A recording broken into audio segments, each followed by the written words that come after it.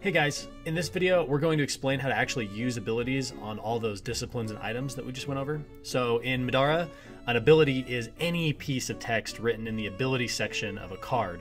Nearly every card has an ability section printed on them, so adventure cards, combatant cards, discipline cards, item cards, upgrade cards, basically all of our cards in the game uh, have an ability text uh, printed on them, at least most of them. Combatant cards, so as a refresher, cards that look like this, may only use abilities printed on their own associated card, while adventurers may only use abilities printed on their own associated cards as well.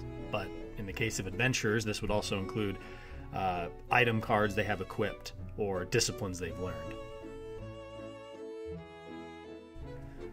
Unless they say otherwise, an adventurer or combatant may only use an ability they control during their turn. So, for example, since it doesn't say otherwise, this vitality drink can only be used to heal yourself or an adjacent adventurer during your turn.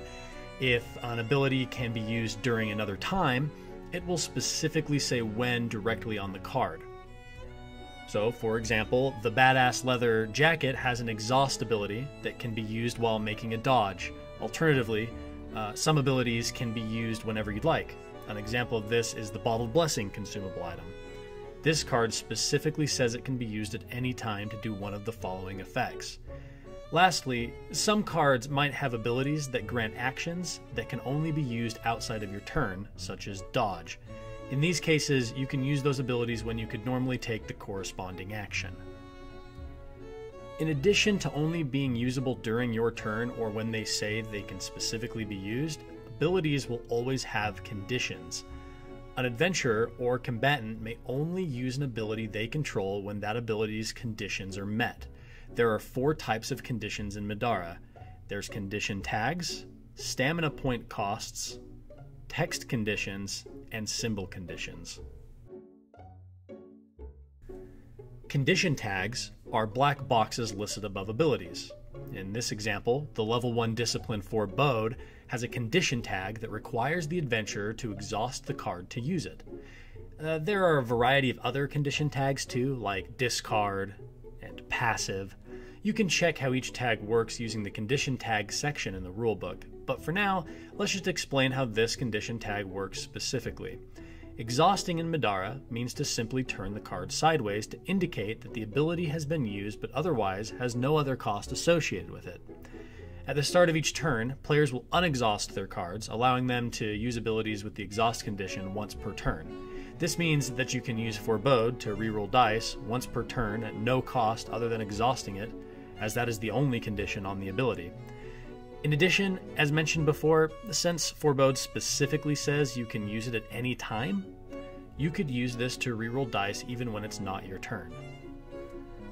The next condition we want to talk about is stamina point cost.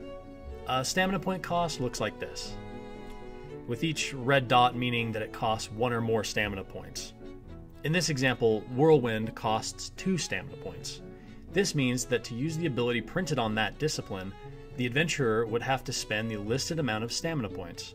Assuming the ability doesn't have any other conditions that prohibit using it multiple times, like Whirlwind here, an adventurer could use this ability as many times as they have stamina points to spend, meaning that if you had four stamina points, you could use Whirlwind twice in a single turn. Text conditions are another condition type. These are any condition or requirement that is printed in the text of the ability itself. This will be explicit and different from ability to ability. So, for example, Blade Works can only be used if you have two one handed melee weapons equipped. This is a text condition. It's important to note that being able to use the ability has nothing to do with whether or not an adventurer can spend XP to actually learn the discipline it's printed on. In fact, you could spend XP to learn Bladeworks and only equip giant warhammers or something, but you'd be wasting XP on taking Bladeworks unless you planned on switching up your gear later on. The last type of condition in Middara is symbol conditions. A symbol condition will always have one of three types of symbols printed shields, books, or bursts. They are usually printed on the bottom of weapon item cards and look like this. These symbols are also printed on the dice in Middara. When making an attack, adventurers and combatants will spend symbols rolled on these dice to use corresponding symbol abilities printed on their weapons during the spend symbols and use abilities to add damage step of an attack. For example, the longsword has a symbol condition that would give the adventurer who equipped it an ability that grants extra damage if they roll the required symbols during an attack. Symbol conditions and their corresponding abilities can be used as many times as an adventurer has symbols to spend, unless it says otherwise or is paired with another condition that prevents it, like exhaust. So, for example, if you had a longsword equipped, you could always spend two shields during an attack to add plus two physical damage, and if you spent four shields, you could add plus four physical damage instead. Symbol conditions can be printed on disciplines and other cards as well. In these cases, they will specify when they can be spent if it's not something that simply adds to your damage or attack roll. So, for example, anticipated attack is a discipline that grants the adventurer who learned it a passive ability that lets the adventurer spend two books to add plus one to his roll during a dodge. This naturally brings up another point. Some items or disciplines might have more than one condition required to use the ability. So, for example, Crumbling Time is a Cruor discipline that has both a stamina point cost and a condition tag. This means that you must both spend one stamina point and exhaust the card to use the ability printed on Crumbling Time. This means that you couldn't use Crumbling Time more than once per turn, even if you had tons of stamina points to spend. Furthermore, some cards may have more than one ability printed on them. For example, Possession has both a passive ability and an exhaust ability. In these cases, the conditions for each ability will be clear. Uh, something to note so long as it's not another condition that exhausts the card, you can still use the abilities printed on a card even when it's exhausted. So, in this example, you would still gain the benefit of Possession's passive ability even when it's exhausted. Next, we're going to talk about important tags that we felt everyone should know before they start playing. While there are dozens and dozens of tags in Middara, only a few have inherent rules. Instead, most of the tags are referenced by other cards, such as when an item uses the combo condition tag. For example, the longsword has two abilities with the condition tags Combo Light and Combo Sword. The sword tag and light tag don't have any inherent rules associated with them, and instead are only referenced by other abilities and condition tags.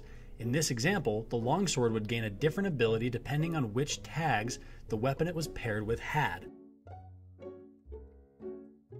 Alternatively, if it was paired with a sword that was also light, it would gain both of these abilities. The tags that might be on items that we feel players should know before starting Middara are Armor Piercing, Backstab, Finesse, Heavy, Reach, Throw, and Double. Weapons with armor piercing ignore the amount of armor listed next to the tag when making attacks. This can be useful when trying to take down heavily armored targets. Armor piercing can also stack, meaning that if you have two weapons equipped with this tag, such as these two katars, you can overcome an even higher amount of armor. Backstab is a special tag associated with daggers and other rogue type weapons. A figure with backstab gains a significant bonus to their attack rolls and the damage they'll deal if they hit. However, this bonus only applies so long as they are flanking the target of their attack. We'll talk about flanking later on. Finesse provides a better combat dice under certain circumstances or when equipped with weapons that complement each other. For example, the longsword will upgrade its white combat dice to an orange combat dice when equipped with a light weapon. Heavy reduces an adventurer's base movement value by 1 for each item the adventurer has equipped with the heavy tag printed on it. In addition, the heavy tag will reduce the amount of spaces an ability or effect moves an adventurer. This means that if you had two items with the heavy tag, such as plate mail and a Zanbato, you'd reduce your movement value by 2 and couldn't be moved by slow currents and rivers. You also would reduce any push or pull effects from opponents by 2. In addition, disciplines that grant free movement would also be reduced by 2, making a discipline such as Like the Shadows useless to this adventurer. Reach increases the range in which you can make melee attacks. This can be useful since certain disciplines only work with melee weapons. A weapon with Reach 2, like the Halberd, would allow an adventurer to attack two spaces away. Throw is listed on various weapons and consumables. It is usually listed alongside a discard or per encounter condition tag, meaning that an adventurer will not be able to use them multiple times in an encounter. When using the throw ability, The adventurer chooses a target within range 4 and rolls the listed dice. Then, the adventurer simply deals the target physical damage equal to the amount rolled on the dice. The double tag is used on items that can be equipped using either the front or back of the card.